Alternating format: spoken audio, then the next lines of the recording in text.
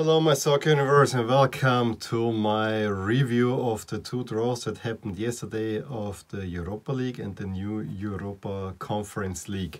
Um, just FYI behind me, those are all the jerseys, those are jerseys that I have of the top teams in my collection for the Europa League and here I put the Conference League.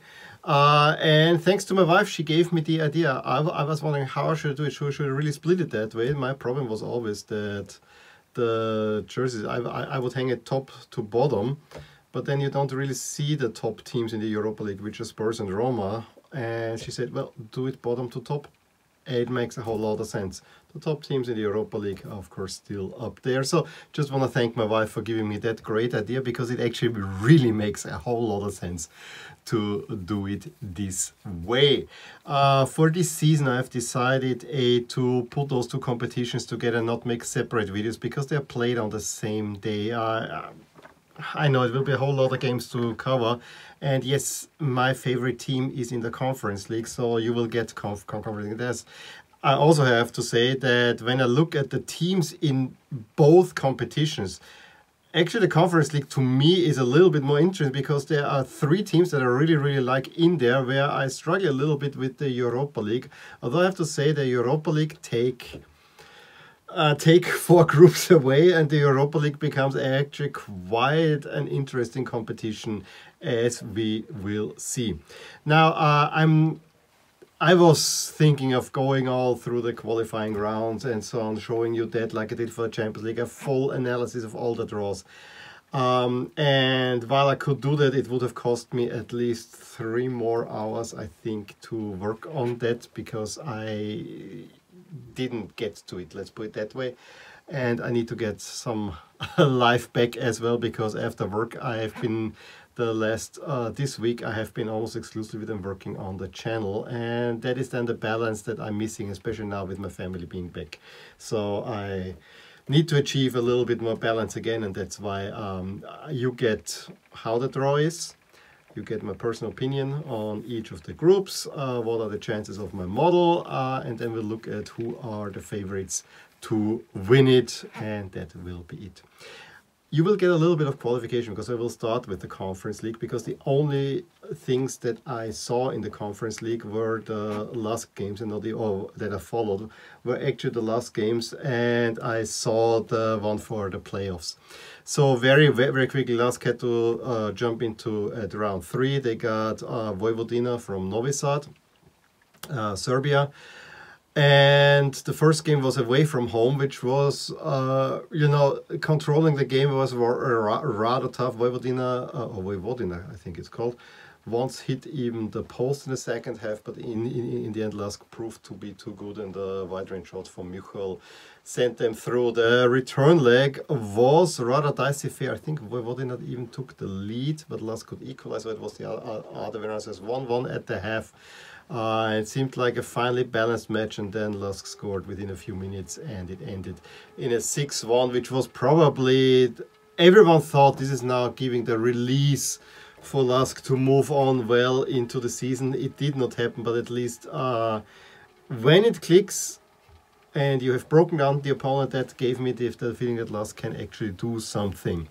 However, um, the next opponent was either Galatasaray or St. Johnstone. St. Johnstone did not knock out Galatasaray in the Europa League um, uh, playoff round three.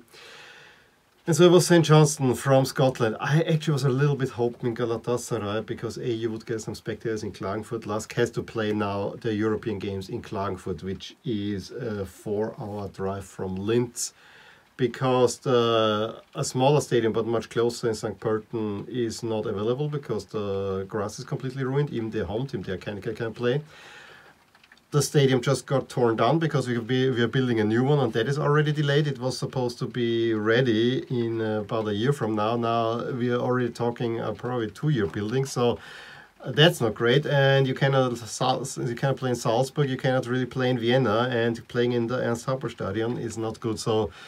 Although I think you would get more fans into the Ernst Stadion, to be honest, because uh, Vienna is a much easier drive for uh, from Linz than is Klagenfurt. But hey, Klagenfurt it is. It is the most beautiful stadium in Austria, but it's not uh, so great.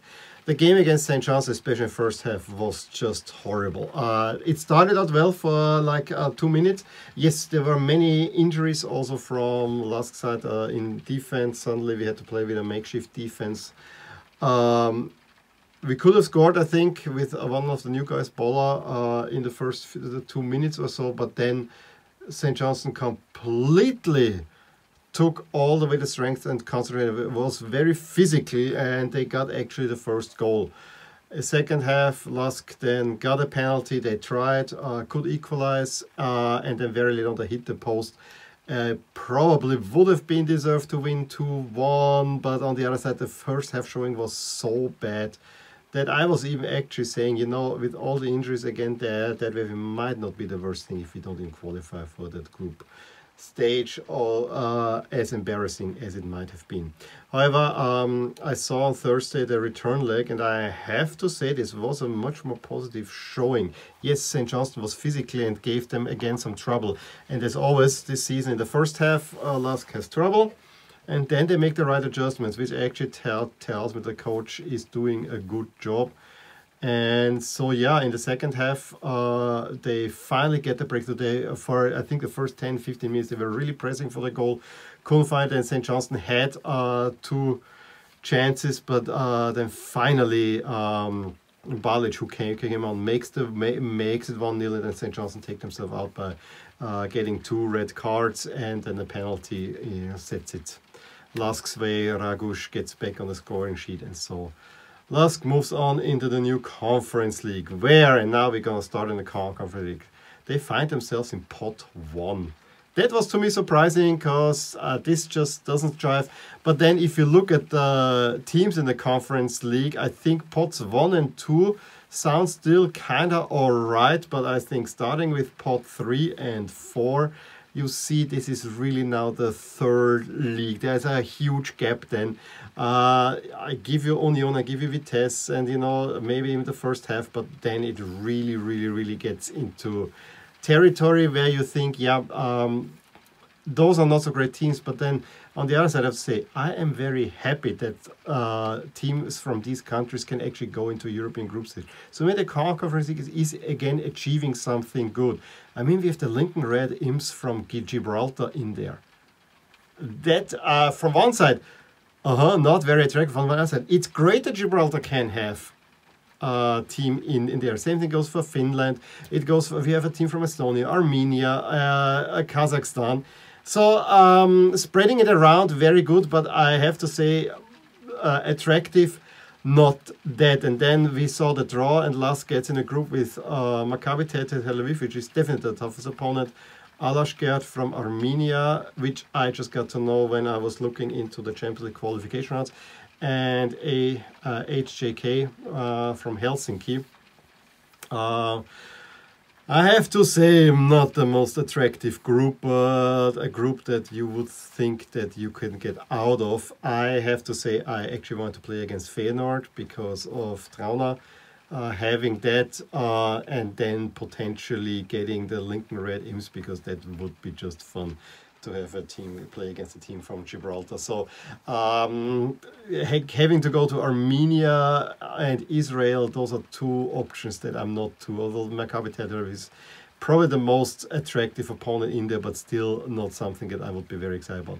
Of course, uh, PAOK is also in there, which is another team that I really like. Uh, they got not an easy group, but they got the Lincoln Red Imps.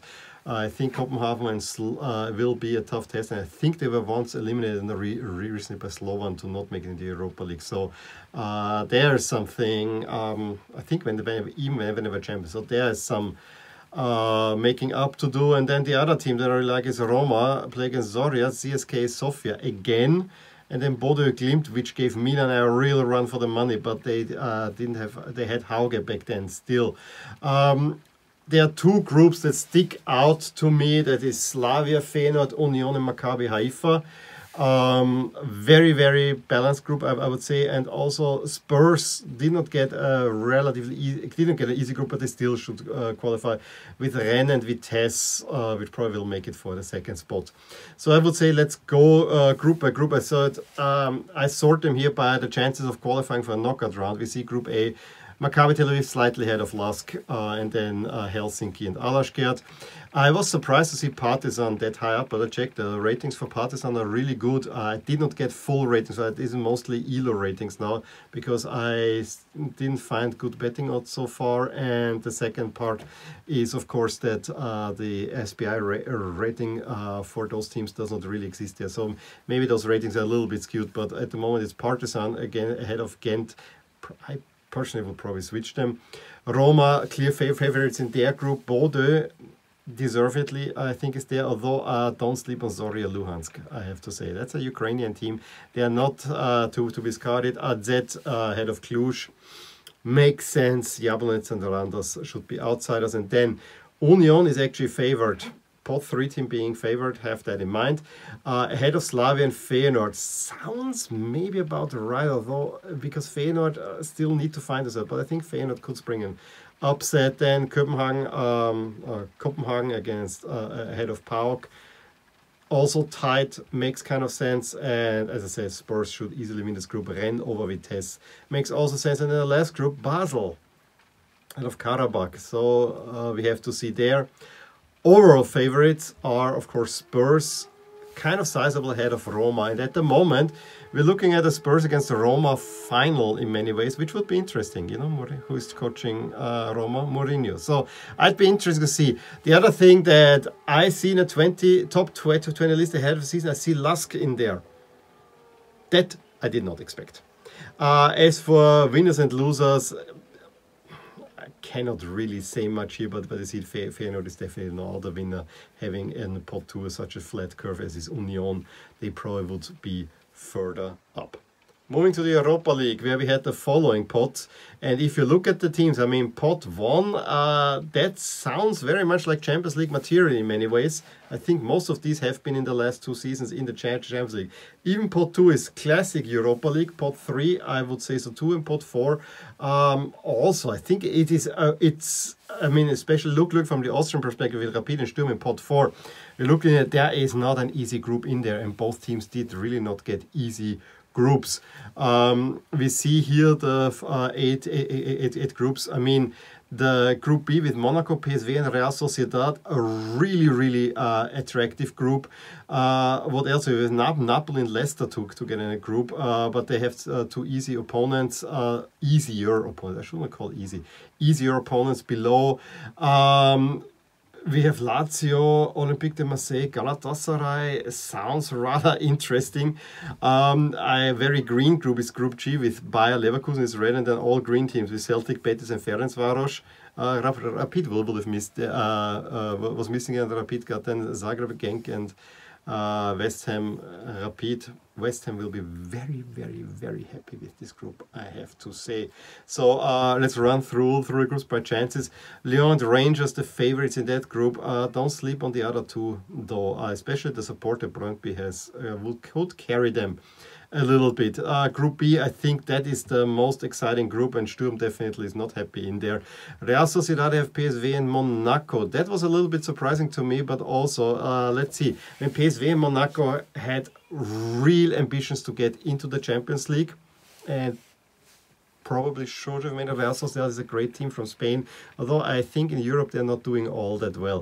Uh, Napoli and Leicester will don't, don't dominate their, their group, uh, similar to Frankfurt and Olympiacos, although Fenerbahce might have a say. I'm a little bit uh, in always, I still, when I hear Turkish and Russian teams, I still think they might be really good, but in the last two, three years, they've been really dropping. So uh, be careful there. Antwerp is a sleeper team in that group, I would have to say, knowing what, what they did last season. Lazio of Marseille and Galatasaray, I mean, that's a group that sounds good, but um, probably Lazio will should have it relatively easy if they take it seriously. Uh, the next group is a very tight one. I actually would even say that although Cervena Zvezda is only in third here, I can see them very well qualifying ahead of Braga or Midtjylland. So uh, curious for that. Uh, Leverkusen over Betis and then Celtic and Ferencvaros and then West Ham. And as I said, they will be very happy with the group. They are very much favored ahead of Genk, uh, Genk Dinamo Zagreb and Rapid. Overall, yes, I said West Ham's happy. They are top. West Ham, there, there, there, there's the other one. It's a little surprise. West Ham is at the at this moment uh, according to all the ratings that I have, the favorite to win the Europa League ahead of Napoli. Before the draw, it was Napoli, but Napoli got uh, a little bit tougher draw because they have to play Leicester as well. So that might put them into a playoff for the round of 16, where you have to play it in a Champions League team, which uh, will not be a straightforward uh, story. We have uh, rounded out the top five by Real Sociedad, Leicester, and Real Betis. So um, I leave the top 20 up there. So this is it from me for those two other European competitions. As I said, I am very excited about the Champions League this year. I will follow these two as well because I think there is always because there will be so, so many games. It will always be fun to watch this one, um, and we uh, and and I'm sure there are interesting games in there. Um, so you will get my reviews of these two. I will definitely follow, and you know, Lask is playing in, the, in there, what else can you expect? And then there is PAOK, there's Roma, there's Napoli, so all teams that I really, really like. And let's see. I want to hear your thoughts on the Europa League and the Europa Conference League uh, in general, on the draw. What do you expect from these comp, comp, comp, comp competitions? Um, and yeah, give me a thumbs up if you enjoyed this video, subscribe to my channel to see more, and I will talk to you soon. Bye! Hey there, I really hope you enjoyed this video and if you did, here are some videos and playlists that you actually might enjoy too. Also, please consider subscribing to my channel and hit the little bell so that you get notified whenever something happens in my soccer universe. And with that, have a wonderful day.